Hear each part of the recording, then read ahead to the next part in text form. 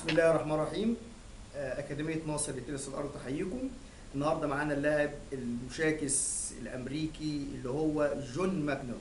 جون ماكنرو كان لاعب تنس أمريكي يلعب باليد اليسرى ولد في 16 فبراير 59 آه، في ألمانيا. كان من أحسن لاعبي التنس خلال الثمانينات وكان ليه رونق كبير جدا وليه باع كبير وكان مشاكس في الملاعب وكان دائما الحكام من ظرفه يجيبوا عليه بعض الغرامات وكان بيدفعها لأنه كان بيعترض كان يعني مدرسة الاعتراض الكبيرة لجيمي كونرز كانت يعني على الاقل نقطة يعيد ويشوف ويجادل في الملعب.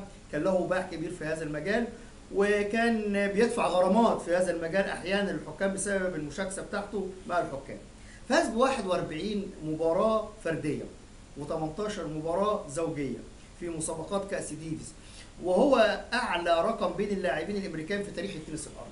يعني بالنسبة له يعتبر يعتبر جون ماكنرو من اللعيبة اللي هم كانوا مميزين داخل أمريكا. فاز ببطولة الولايات المتحدة الأمريكية ثلاث مرات. خد متتالية ورا بعض خد 79 وخد 80 وخد 81 يبقى هو فاز بثلاث مرات ببطولة الولايات المتحدة الأمريكية اللي هي أمريكا المفتوحة اللي هي تعتبر من grand slam.